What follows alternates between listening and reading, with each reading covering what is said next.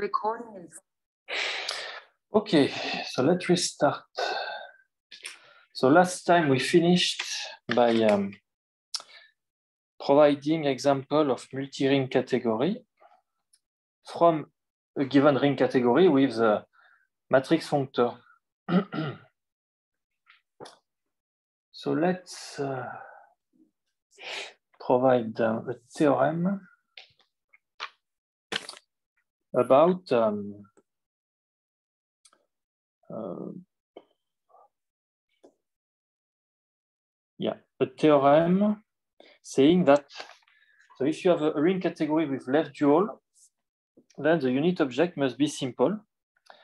And if you replace a ring by multi-ring, then uh, you replace simple by semi-simple. So the theorem is the following.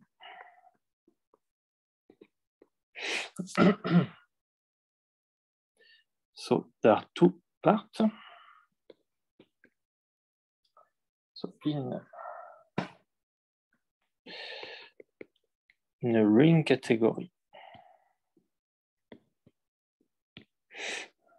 uh, with left dual, every object has a left dual.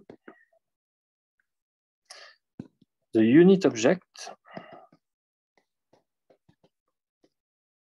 is simple. And the second part, um, so in a multi multi-ring category,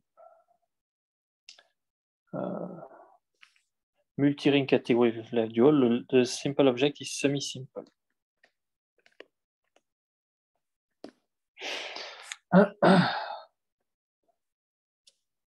So, um,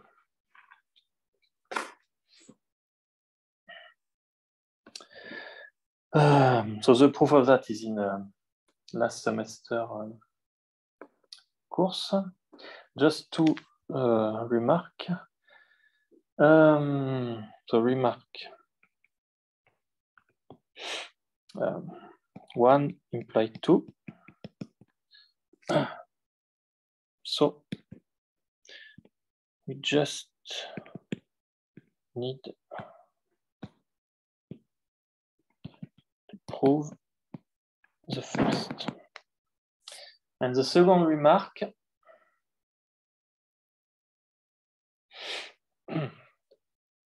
second remark, second point is that uh, we will use uh, the first part of this theorem to prove, to show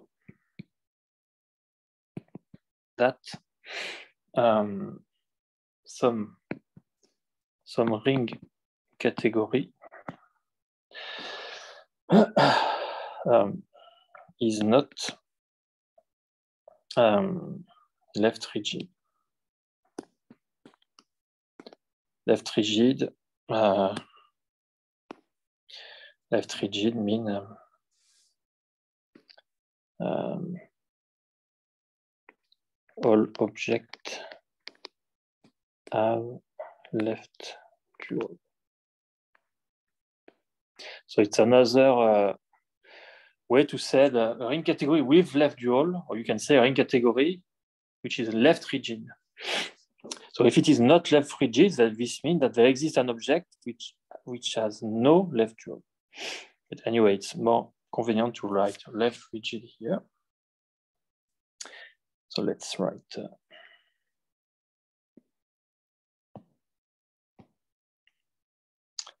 uh, yeah. anyway, okay. Um, so we will, we will use this point to prove, to show that some ring, we will see an example of ring category where the unit object is not semi-simple, in particular is not simple. And so, an example of ring category. And so it cannot be left rigid.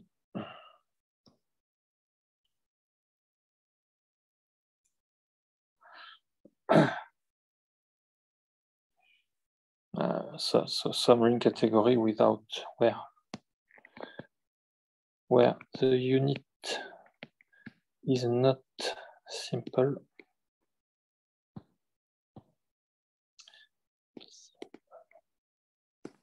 We will see that uh, soon. Okay, so um, okay. so um, so that's easy. Um, so now we can start. So we almost finish. We almost finish the summary part. Um, let's start summary of last semester session 19 last semester session 19 then I will have session 20 and then this will be the end of the summary part. So it was a bit longer than what I expected but does not matter. So what about now? Now um, so we will we want to show we will state that uh, in a ring category with left dual, so we, we are stating several uh, results of ring category with left dual. Now we will state that in this case, the evaluation and co-evaluation map are respectively epimorphism and monomorphism. And for so, um, the proof of that corollary we, we did last semester re required uh, some useful lemma that we will we may need later also. So if you have an epimorphism like that, epimorphism, so where? Uh, so you have an epimorphism like that, then uh, x if x is x simple imply that y is zero or x. So this is related to Schur's lemma. And uh, another lemma. So you take uh, some non-zero morphism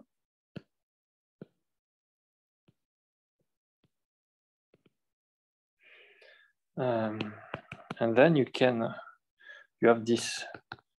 So if X is simple, then F is a monomorphism.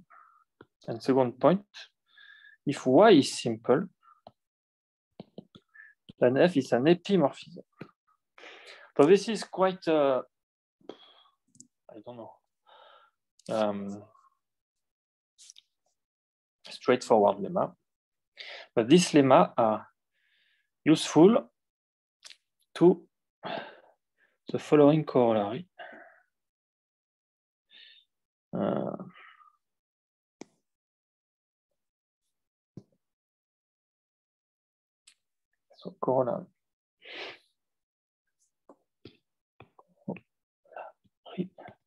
so this is ring category with left dual and uh, um, evaluation co-evaluation map are epimorphism and monomorphism. So in a ring category with left dual, the evaluation map, the evaluation maps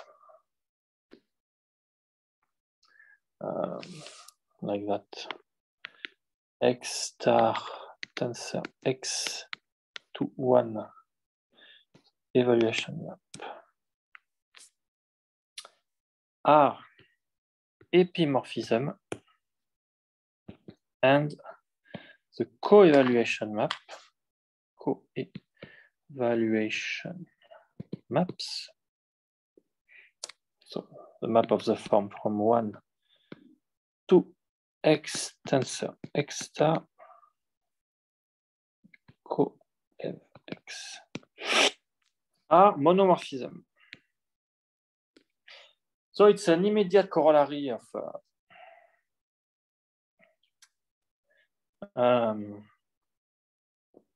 yeah, of this point and this lemma. Because um, uh, yeah because here we know that one must be a simple object.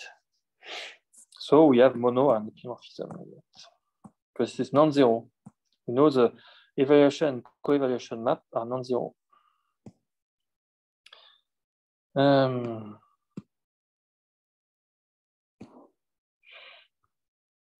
so you also use that. Uh, in the next corner.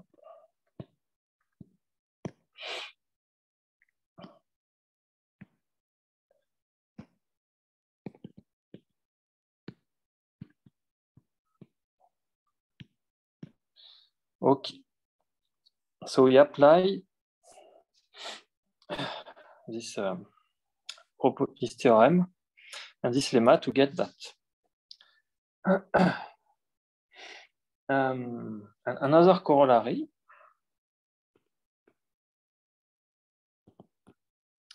So what this new corollary is about? Um, so um, so in fact, when you have a left category, you are in a left in a ring category with left dual. Um, we we can if you have an exact k-linear monoidal functor, um, so you can prove that it is also faithful. Yeah. It's a, it's a tensor category, it's a tensor functor. So you have to, uh, to come back to um, uh, the definition of tensor functor we, we, we gave uh, in some previous uh, session. So it's another consequence, in fact, ring category with left dual. Like, uh, yeah, ring category with left duals. So you have the functor from C to D. So D is a multi-ring category, so an exact K linear monoidal functor into a multi. Here, D is multi-ring.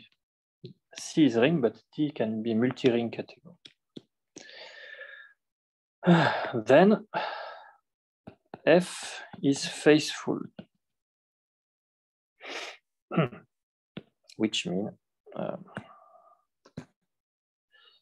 um,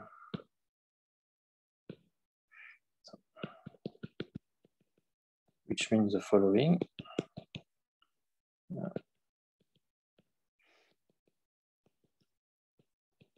the object and on the morphism. Uh, and so, so by definition, you should come back to the definition. F is a tensor uh, functor by definition. Because in a tensor functor, by the definition we gave uh, before, tensor functor is a faithful um, functor such that blah blah blah. So uh, just by definition, okay. So it does not matter. So it's a bit technical, but that may be useful, in fact, in some next um, chapter when we we talk about a representation category of uh, Hopf algebra. okay, so um, the next proposition hmm, will is about a multi-ring category and about um, we will provide this will say something about you take two, you, have a multi category and you have the decomposition we, we, we, we explained last, last week. You take two elements in two different components, two non-zero elements, and uh, this will be a result about what about their tensor product? Is it non-zero, and what about the length, etc. So you take a multi-ring category with left dual.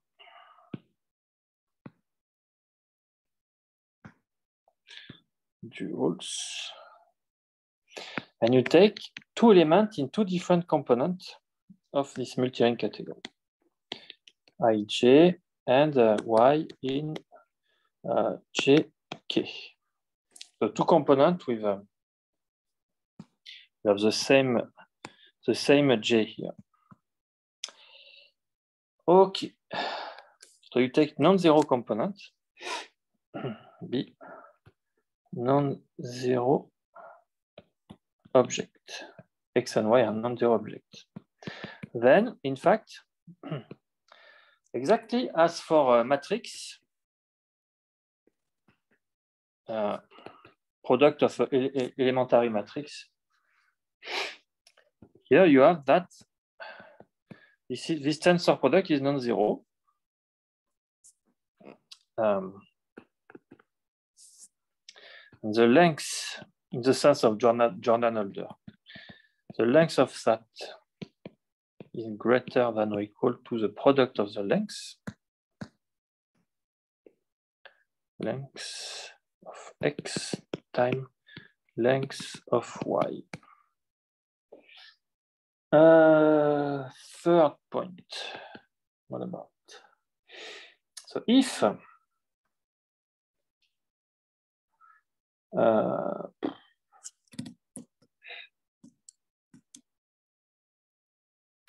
so if you have that,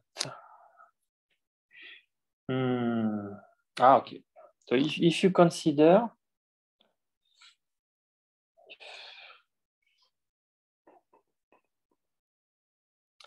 if you consider like like that, so you, you know that X star we already know um, so remember that x, if x is there, x star is there. So we can multiply, we can, we can make the tensor product like that. it's non-zero.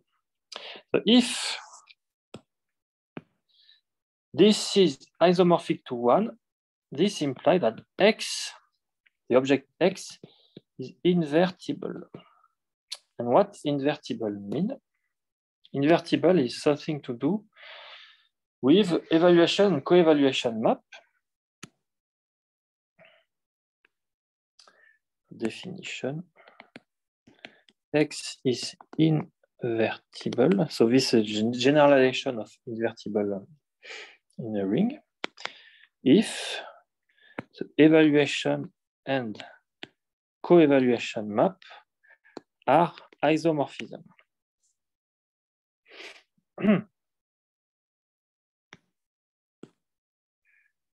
okay.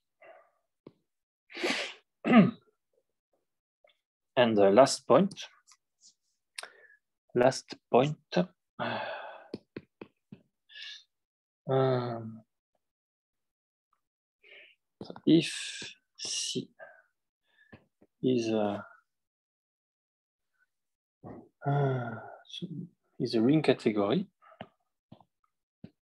not multi-ring, but ring category. Uh, then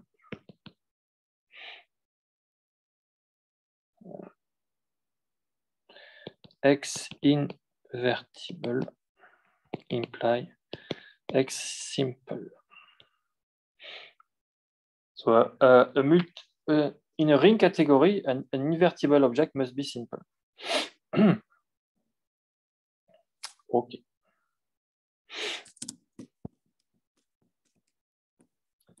So, particular if yeah.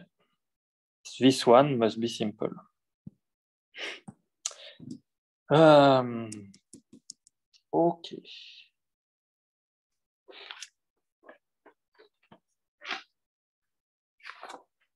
So let uh, now provide the example I um, I mentioned here uh, to show. Let us show a ring category where there is an object without left dual. And for so, we will provide an example of ring category where the simple object is not simple, the unit object is not simple. so example.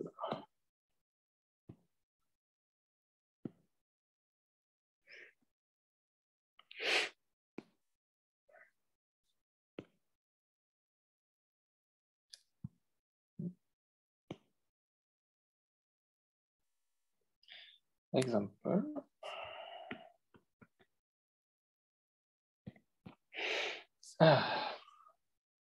Example of a ring category C where the unit object is not is not semi-simple. In particular, not simple.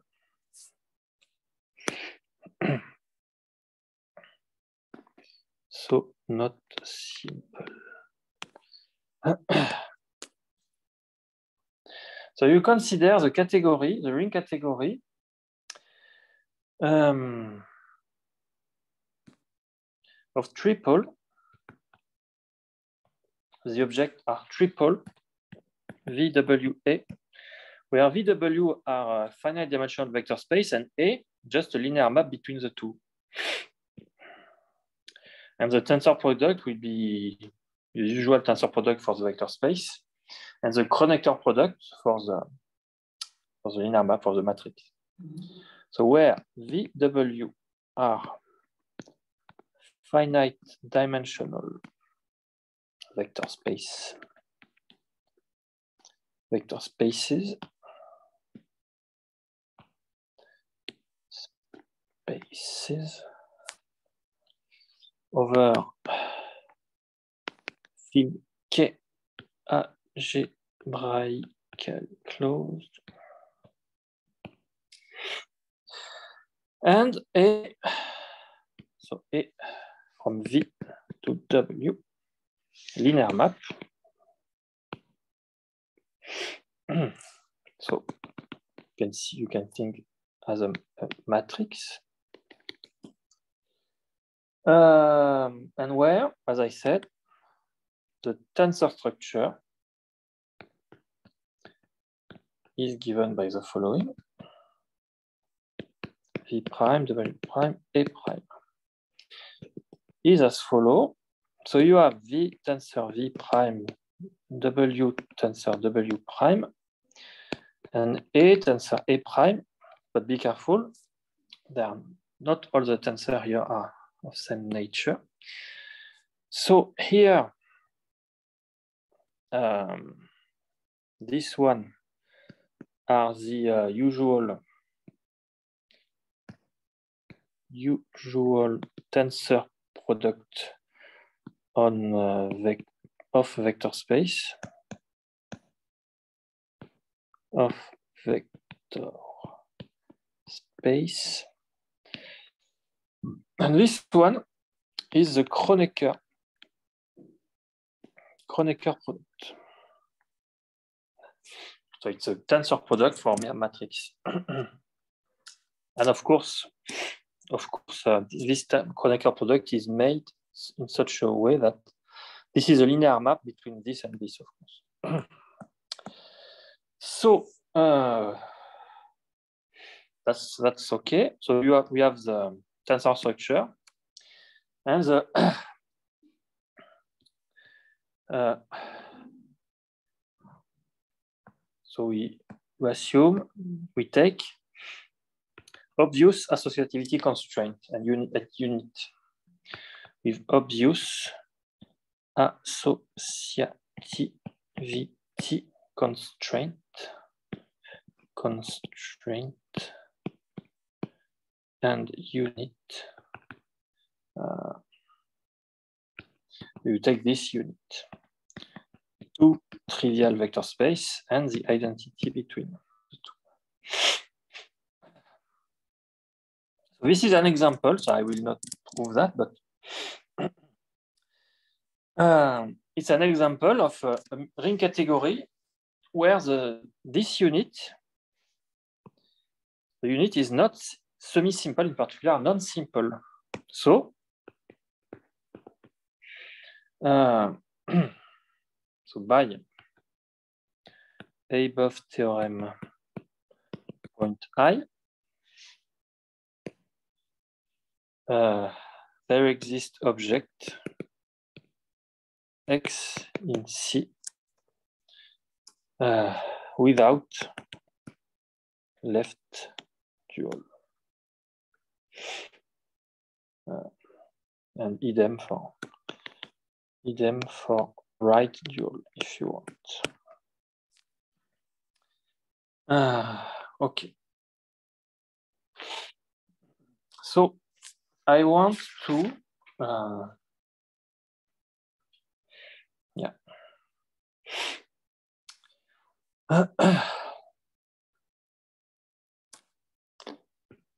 generalize, we can generalize this example by the following observation. That A above category can be defined as the category of finite dimensional representation of the quiver of type A2. So quiver, what is a quiver? And in fact, uh, we, we, we generalize this example by category of finite-dimensional representation of some quiver, not, not necessarily of type A2. So let's um, define what is a quiver and what is A2 uh, and why. Let's, let us show why above example is a representation like that. So definition. A quiver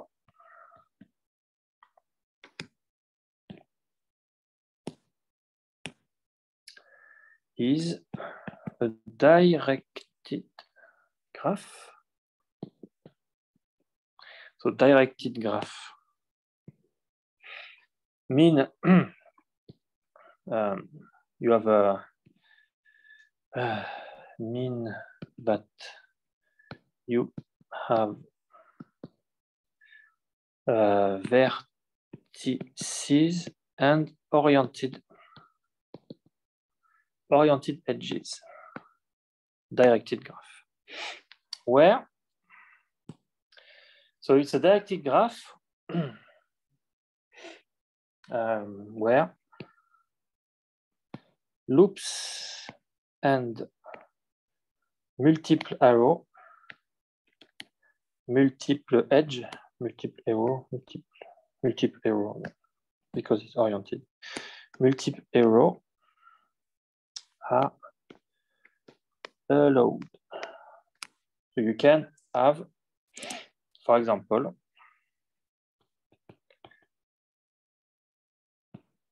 example of quiver, one example. Um, like that. So you have three vertices and one arrow, one edge like that, one edge like that, one like that, and one between itself, on itself. Like that. This is a quiver.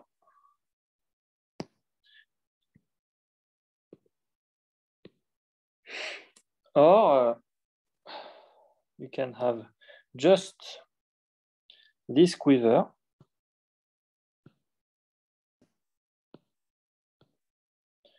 uh, another example of quiver. Mm. Uh, so this is a type, um, this is what is called A2. This one is A2. So above example is a representation of that. this quiver.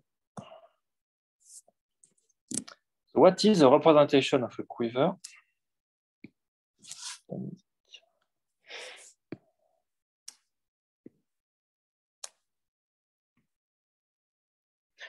So it's quite usual. The representation of a quiver is exactly as you can expect. So definition. A representation of a quiver is the assignment of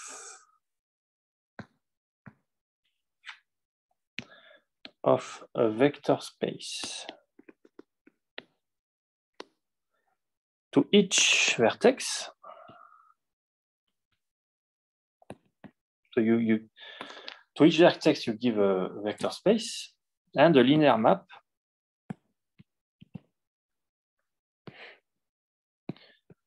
to each uh, arrow uh, oriented edge. arrow is an oriented edge. Uh,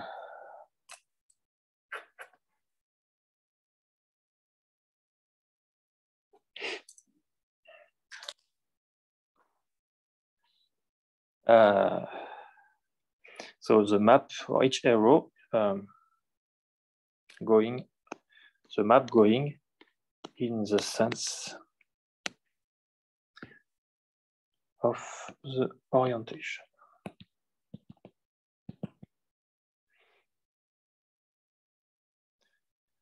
Uh, yeah, okay.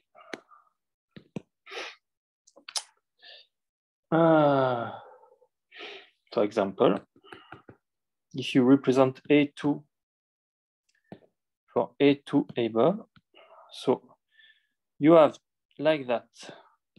Here you have um, one vector space, another vector space, and a linear map between the two. So which is exactly, it is exactly the category of triple um, VWA uh, as written above. It is exactly this category. And you put, I guess you put the, the tensor structure exactly uh, as uh, above. The tensor structure of a vector space and the Kronecker product for the matrix linear map. And uh, that's all. So it's um, it's okay.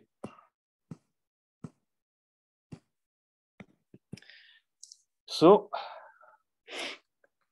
to look very smart, you can say you can say that uh, the ring category of representation of the quiver A2 uh, as a unit is unit uh, is not semi-simple, and uh, some objects don't have left dual. okay, so, so that was the end of what we did on session 19.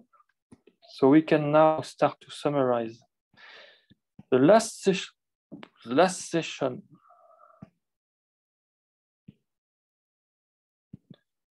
of last semester, session 20. In fact, and after that, we will, after that, we will uh, we will uh, re restart to cover the book in details from the from the where, where we stopped last semester. So we will start uh, after that with uh, the subsection quantum, trace, pivotal, and spherical category. Uh, so I this semester this will have a bit more than 20 sessions because uh, of um, uh, different uh, way of handling holidays.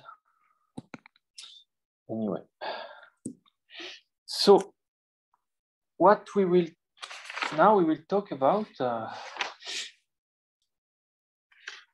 so this um, we talk about Grothendieck ring and Frobenius Perron dimension. So you, we already talk about Grothendieck ring and Frobenius Perron dimension, but in this section, we will provide the definition in details in the non-semi-simple case. So Grothendieck ring and Frobenius parent dimension.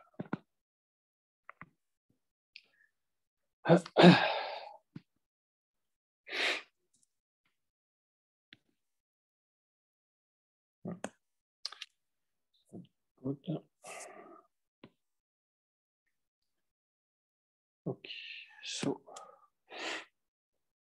um,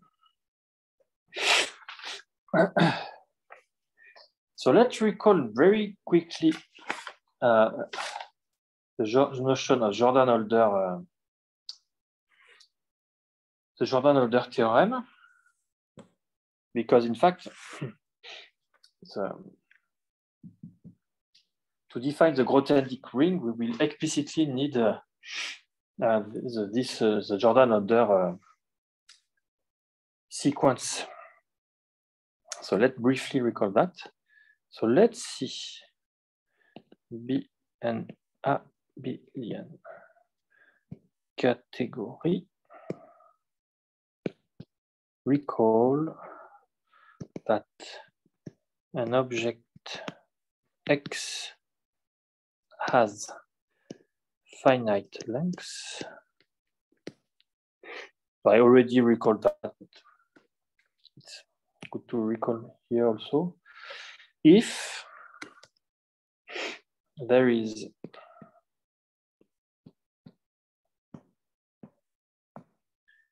if there is a filtration. So we use a new word here. Last time we use a, just a sequence of inclusion, but the, the correct term for that is just a filtration. With a filtration, and here the filtration are assumed to be finite. Uh, I hope it is. I don't know if it is true in general. So a filtration um, there is a filtration of X like that. So X0 from zero to X, Xn minus one, Xn. Yeah. Uh, yeah. So N is finite, uh, which is so this is filtration, which is Jordan Holder, which mean uh, which mean that uh, this quotient is simple for all i. For all i.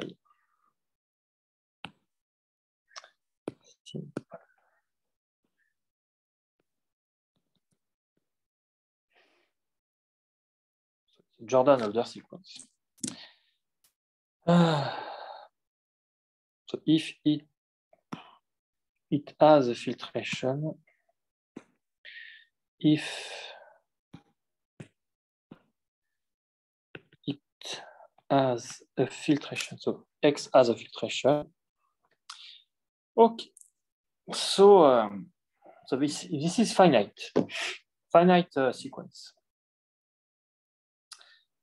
Uh, in particular, the number of simple objects involved here are finite. And the Jordan-Holder theorem, so this is definition of finite length, recall here. Uh, and the theorem of Jordan-Holder, what time is it? The theorem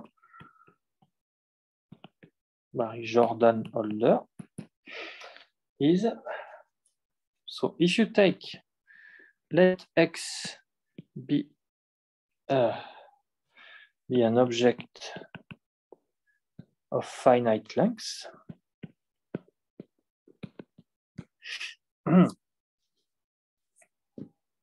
then then the sequence of simple object Si equal uh, this quotient. So this sequence uh, is uh, independent independent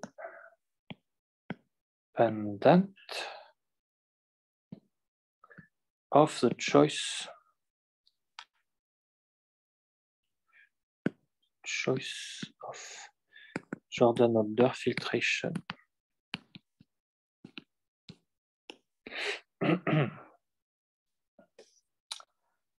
um, up to isomorphism, up to isomorphism and up to permutation.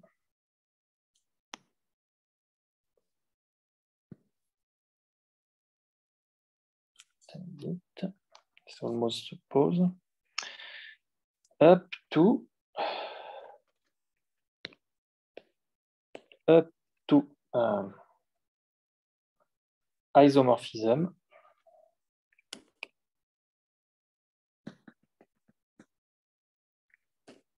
up to isomorphism and permutation.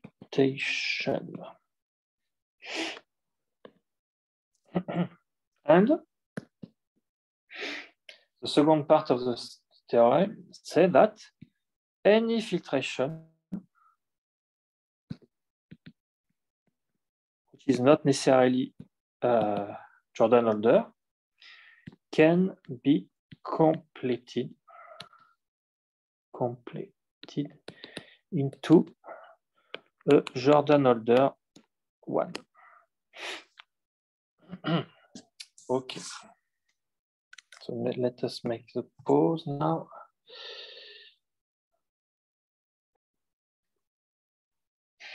Okay.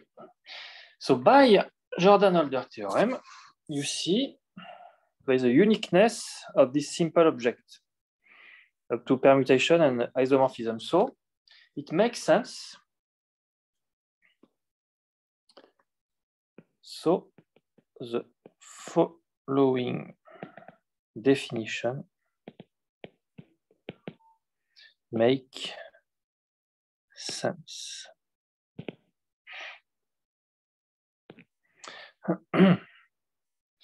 so let definition.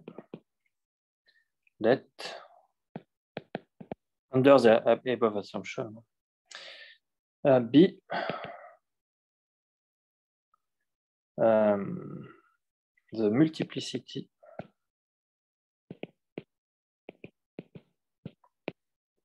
of S in that. To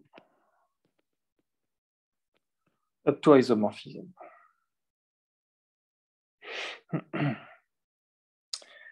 um,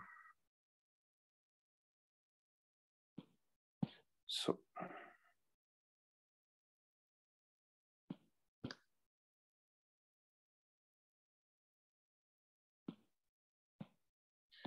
this is well defined. well defined by above theorem.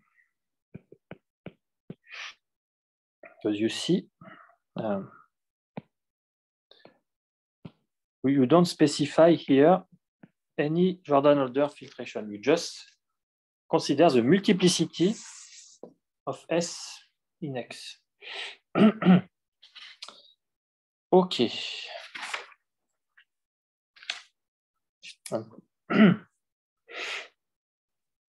and you can prove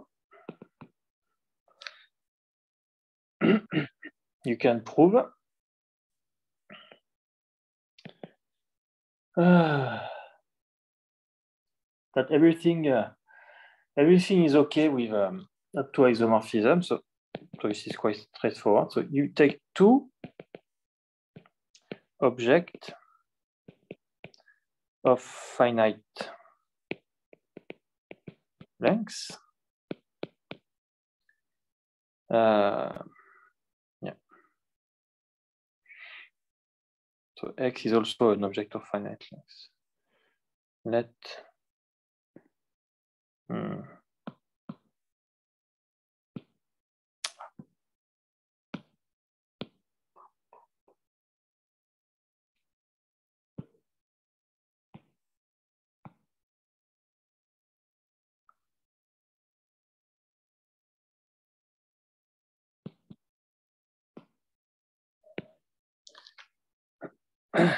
For the multiplicity. So you can you take two objects of finite length. So in an abelian category. In in an abelian category, let S uh, be a simple object, then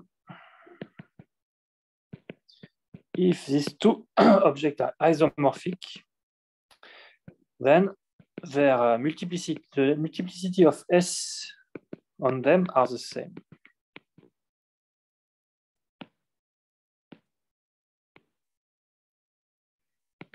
Uh, Okay, so this is uh, straightforward, uh, I guess. So now we can define the notion of first notion of Grothendieck group, the additive, additive structure, and then the notion of Grothendieck ring. So first the Grothendieck group, so definition. Let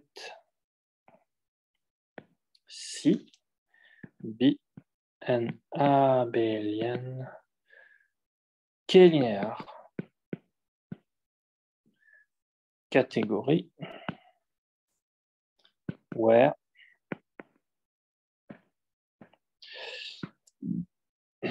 The object. Has have finite length.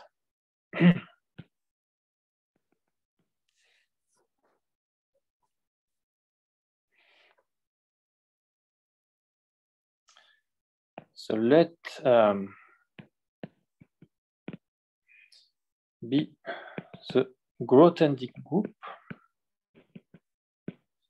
Grothendieck group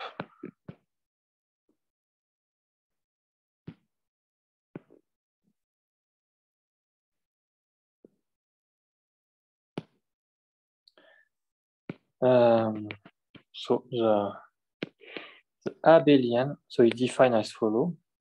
The abelian group freely generated as abelian group by the simple object up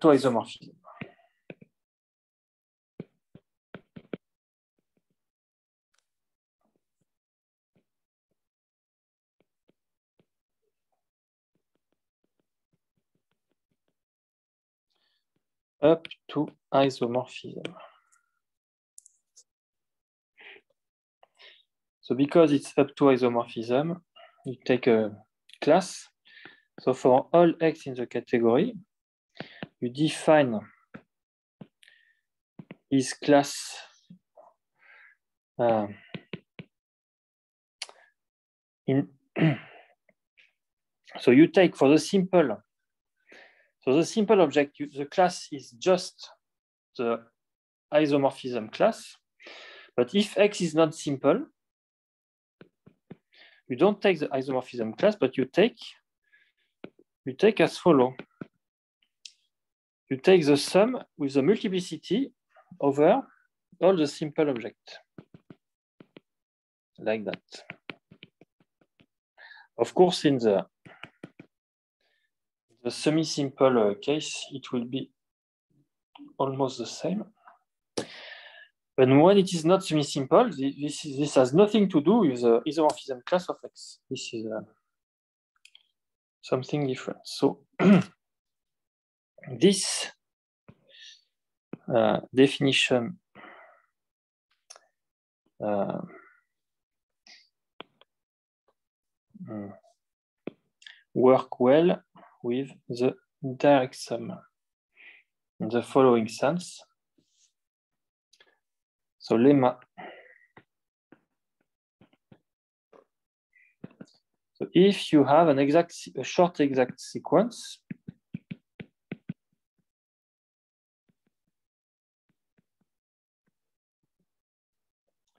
Then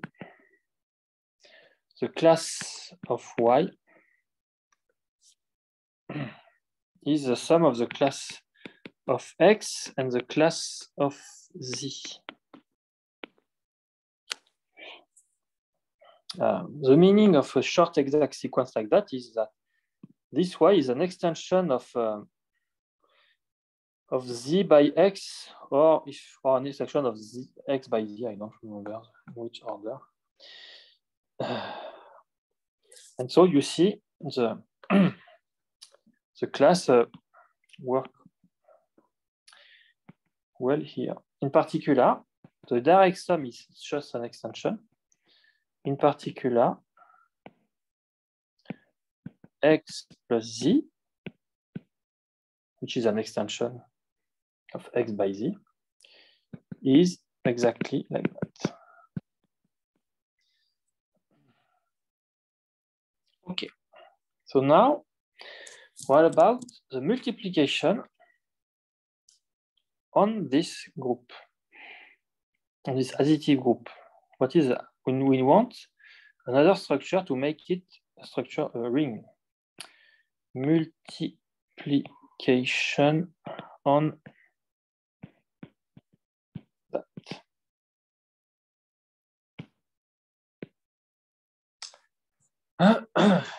so the multiplication, of course, will be related to the tensor product.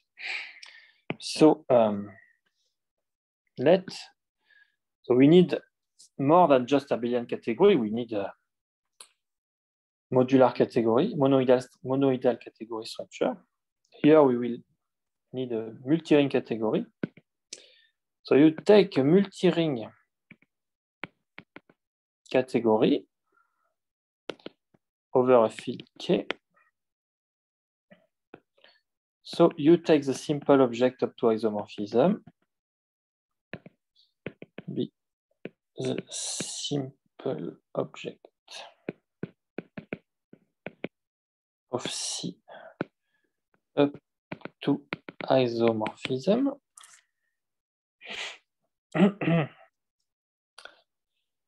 um, So as I said, the tensor product induce a multiplication on the Grothendieck group.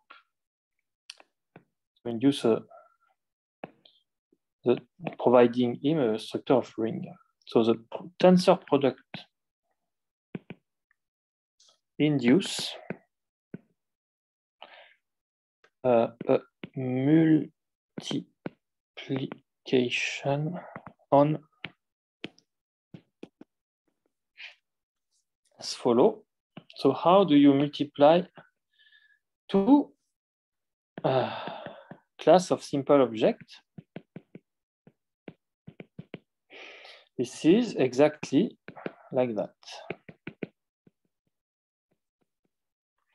This is a class of this tensor product by definition.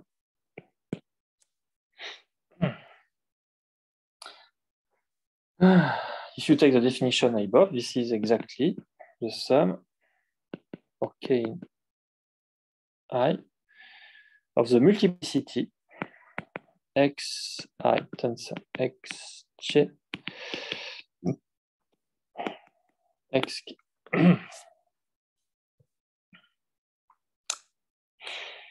um, and this multiplication is called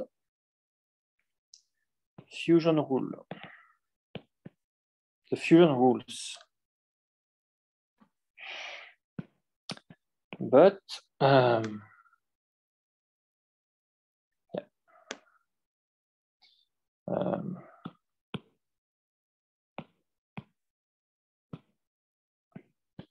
but uh, uh, not that. So such a fusion rule, of course, do not determine completely the category, do not determine it. Even in the semi-simple case, that does not determine completely the, the category. This is a very hard problem, really, categorification problem. You can have several categorification of the same, uh, the same uh, Grothendieck ring. So not that, that do not, that do not completely characterize characterize uh, the category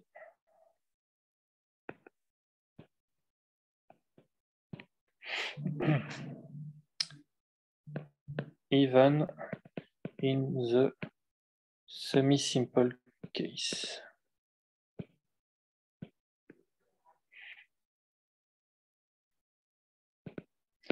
Si the categorification problem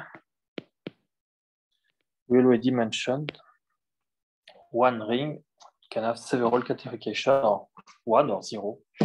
Yeah, everything is possible. Okay. So now the next the next lemma said that the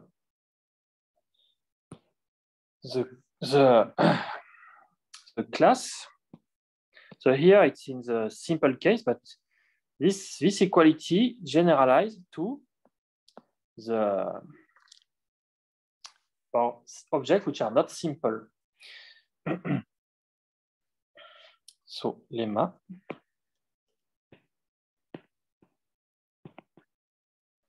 Hmm. By extending uh, above equality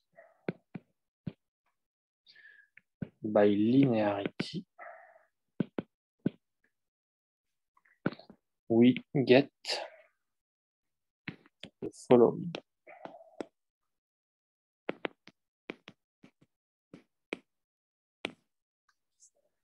For all xy, so not necessarily simple. And uh, this come from the this come from the exactness of the tensor product.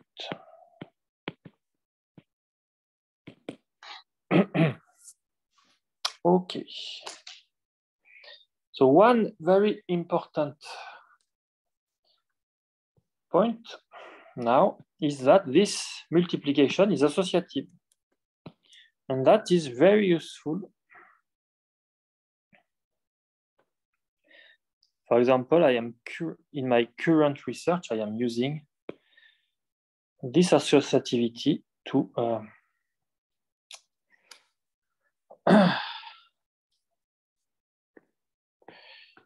to classify some fusion ring. So above multiplication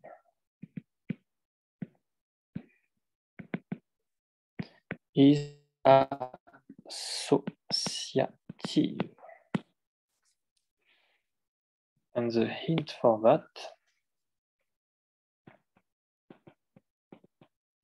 this comes from the fact that we can reduce to the simple object, reduce to simple object um, by linearity, and then and then use um, the associativity of um, the tensor product.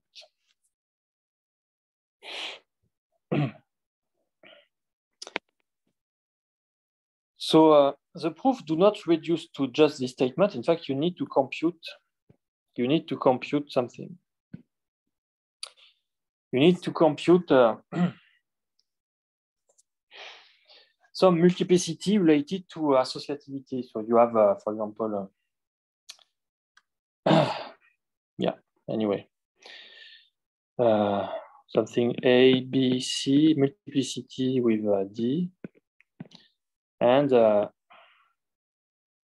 something like that. A, B, C, multiplicity D. You have to compute that and compute that.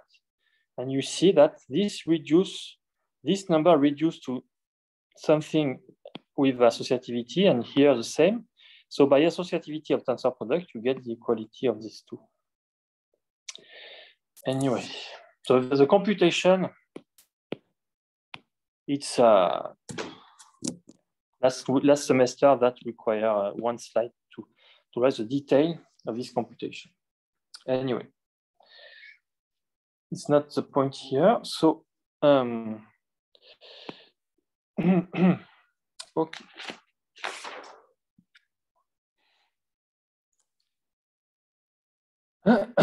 so now we have a ring. In fact, a ring of a very specific kind. Not yet a, a fusion ring, but corollary. Uh,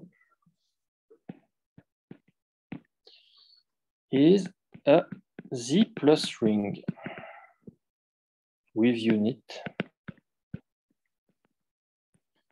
This unit called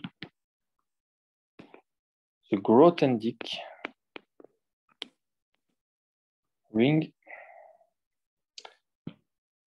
the Grothendieck ring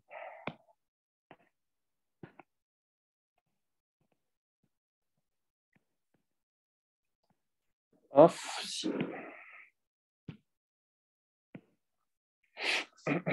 so C uh, should be uh, a multi-ring category.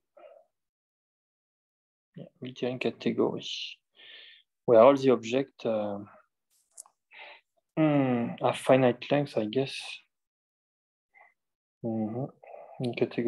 K-linéaire. Mm. multi-ring category. Here see the multi-ring category. Okay. Uh, so um,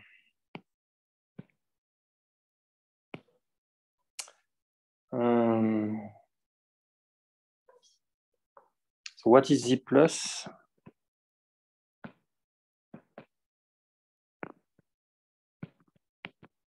z plus is just the non-negative integer.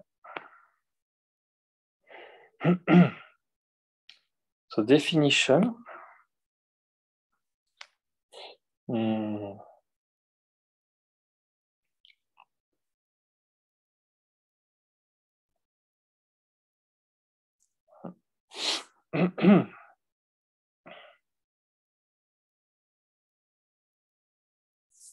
so I, I, am thinking about whether we should multi-ring category is enough or we need to say that every object has finite length. Is it? I don't remember whether it is uh, included in the definition. Let me check that quickly. Multi-ring category is a multi-tensor category the rigid is replaced by um, be exact. So it should not be uh, um,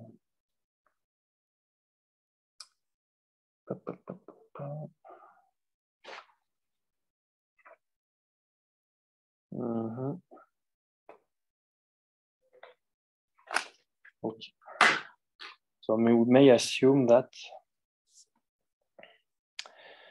all the objects have finite lengths. Where should I put that?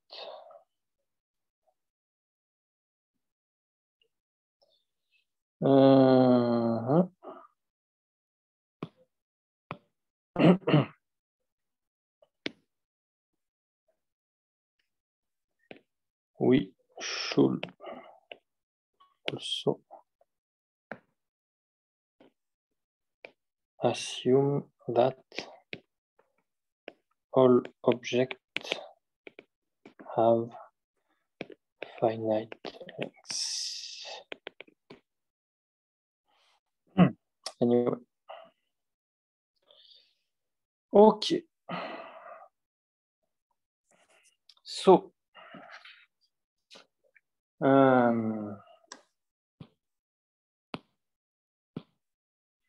oh. So, um, what is a Z, Z plus ring? So Z plus is a non, the set of uh, non-negative integer. So what is a Z plus ring? So Z plus ring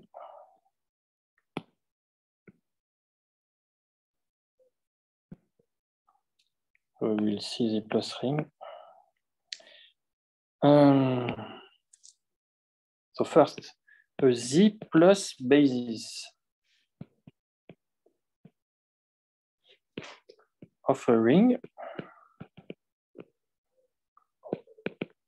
is a basis B like that, such that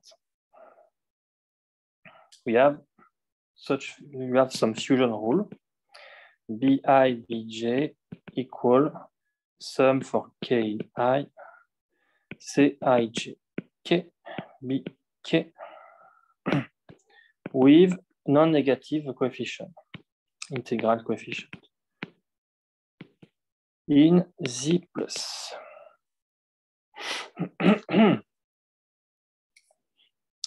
And we have the notation notation uh, like that. We, we may use this notation in the future. So this, this is a, such a bracket, but at the level of a ring. So to simplify, we, we may sometimes write like that. Anyway, so um, uh, okay, so this is a Z plus basis. So now uh, Z plus ring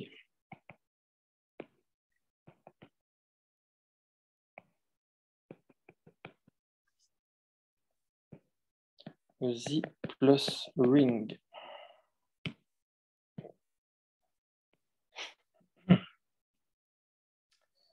Is a ring with a given a fixed Z plus basis.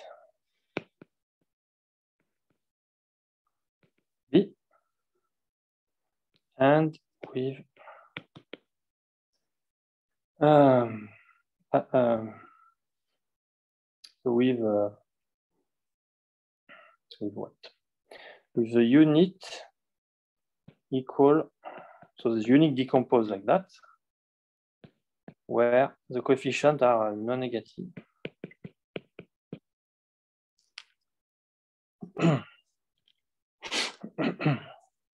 so all this is not not all objects decompose with non-negative uh, coefficient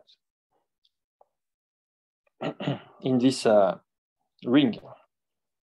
The unit should, and in fact, the for a Grothendieck ring, one representant of uh, of an object will also, but uh,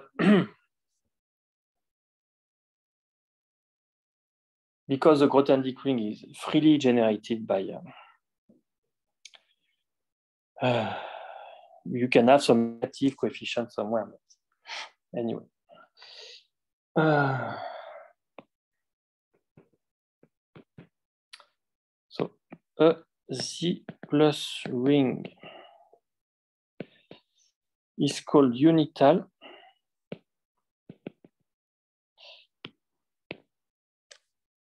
when the unit is an element of the basis. okay, so uh, so um, be careful. this definition, this definition are independent of the notion of uh, category. This is purely algebraic uh, ring theoretic definition. Here, we, this is nothing to do about uh, category.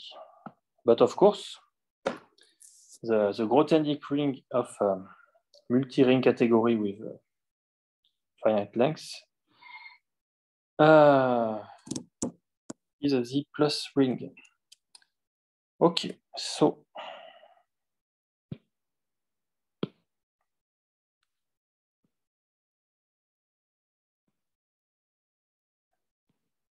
Now, we will um,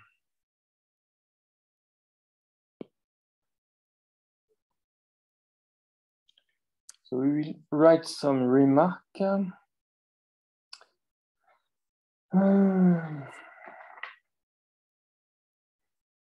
Mm. Okay. So remark.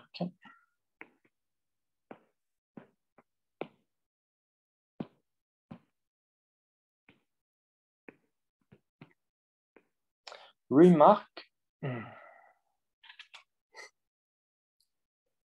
Uh, so this remark said that a Z plus ring is nothing but of the form is exactly um, of the form Z power R, with R the cardinal of um, the cardinal of um, B. So a Z plus ring is a free Z module, module, which means that of the form um, Z power R as a Z module. We are not talking about uh, the multiplication, where R is a cardinal of B called the rank.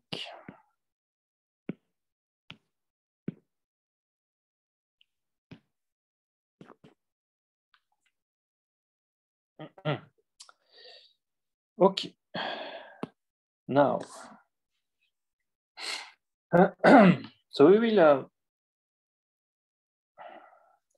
define uh, notion of transitive Z plus ring because, um, in fact, that transitivity is uh, required in the Perron-Frobenius theorem.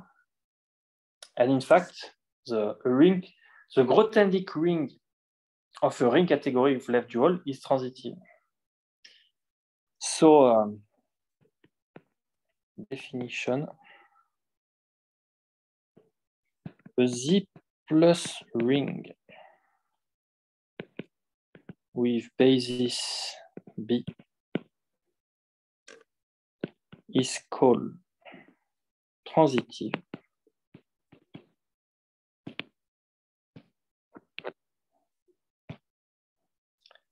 if for all x, z. In, fa in fact, you can connect x and z by, by in the following sense. So there exists y1, y2, such that x, y1, z is different from zero, and y2x, z is different from zero also. So it's transitive in that sense.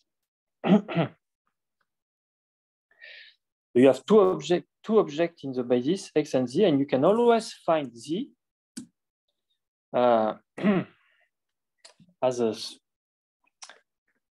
uh, with non-zero multiplicity by multiplying on the left and on the right by some something.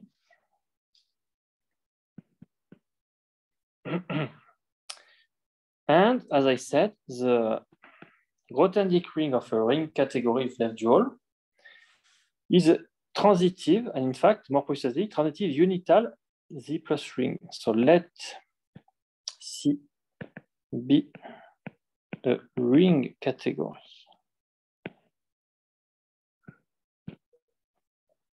We've left dual, then the Grothendieck ring is a transitive mm-hmm. unital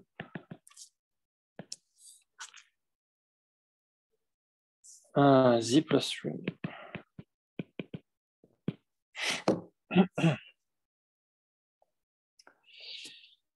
okay. Unital. Hmm. useful for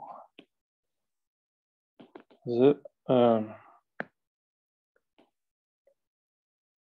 Theorem. Frobenius Perron theorem. Okay. So what about this Frobenius Perron theorem? So definition.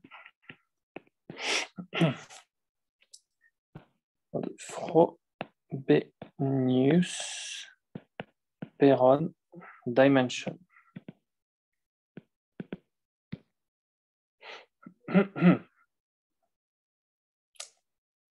you take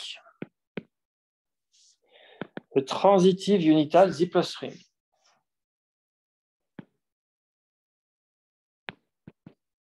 Transitive unital Z plus ring of finite rank. You need finite rank. So rank, rank, where is rank? The rank is here. So the cardinal of B. Finite rank. so let, so we will define uh, for any element of the basis, we can define a fusion matrix, a matrix called the fusion matrix, given by the left multiplication. And in fact, it is not exactly the left multiplication matrix, but it's transpose. And this is very, well, this is a detail. It's an important detail, in fact, to do not take the left multiplication matrix, but it's transpose. This is useless for Frobenius Perron dimension, but it is useful for what I will explain just after that. It is useful for seeing this matrix as a representation of um, the ring. to, into inducing urbanization of the ring. So let an element of the basis define mx to be the fusion matrix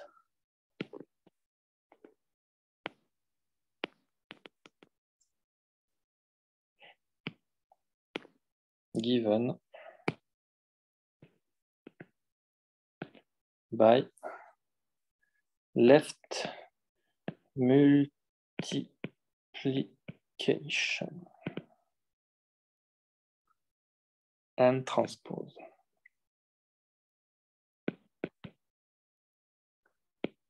By n transpose, I mean you take the transpose of the left multiplication matrix.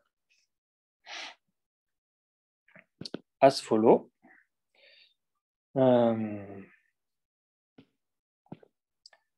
so the following. So mx is equal to like that. So you have the the multiplicity and the entries are written in this order z y not yz so for the left multiplication matrix you you will take yz but here you transpose so it's zy and um, yeah so maybe um, This is fusion matrix. Hmm.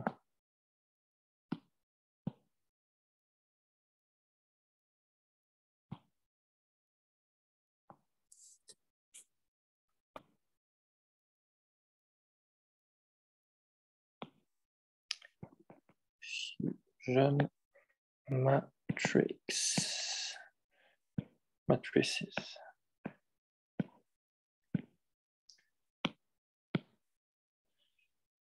Okay, and the definition of Frobenius per dimension.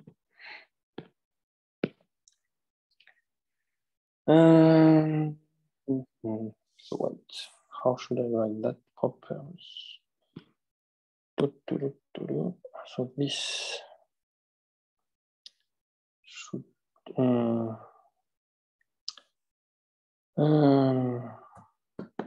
so wait bit confused here. let's erase that. We will put that here.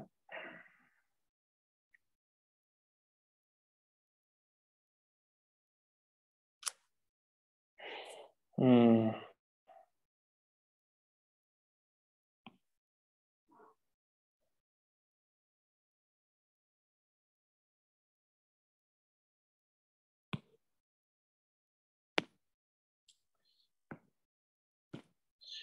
Definition of fusion matrix. Okay, sorry for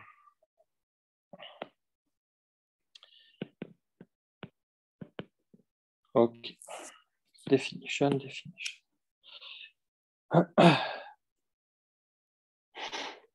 okay, from this parent dimension, this is as follow. Frobenius, this is denoted FP dim of X. This is nothing but the norm of its fusion matrix. Operator, uh, the matrix norm. Matrix norm.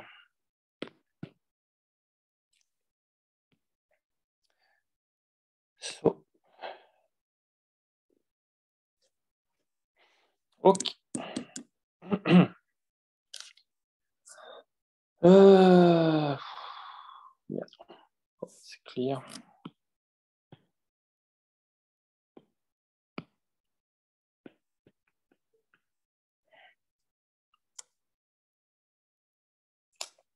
Ok. Time it? Almost time. So uh, during Um, so I want, I will take a few minutes to explain why we need the transpose. And that will be the end for today. So next time we will finish the summary part. It's almost finishing, but I have no time to finish now. Uh, yeah. A remark. Uh, we needed transpose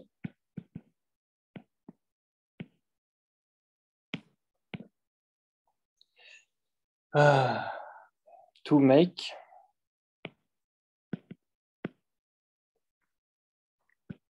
mx. Here, x, y, and z are simple uh, element of the basis. So mx uh, or not. No, no, not necessarily. Uh, mx and z are any element uh, of B. Let x, so I am confused now. Yeah. Um, mx, bit confused. So let x, y, z in Okay. So we need the transpose to make this matrix a representation, a representation of the ring.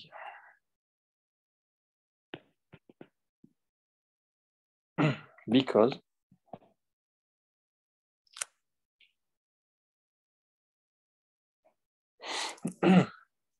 because of the following associativity.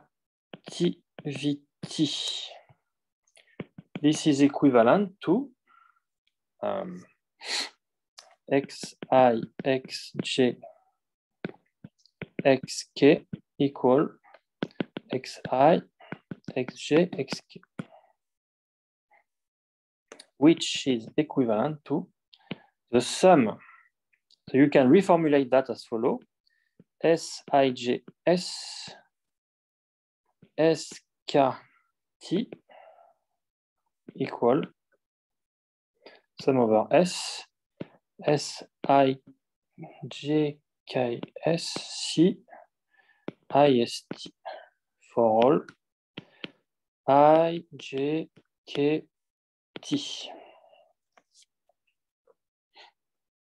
So you can see, you can reformulate the associativity like that. And this is equivalent to where you use um, MXI. So the matrix is CIJ K KG. This is equivalent to the following. MXI, MXJ equal to the sum of SCIJK, MXK. So you really have a representation.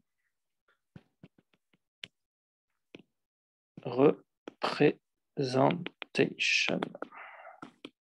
In that sense, it's a representation, representation in that sense. And if, uh, so it's time, if you don't put the transpose, then you don't have a representation you have to. it's a, if you don't put the transpose, it's a representation of the opposite. So you need the transpose. um,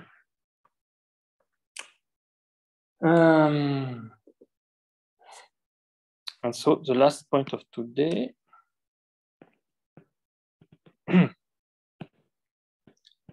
fusion ring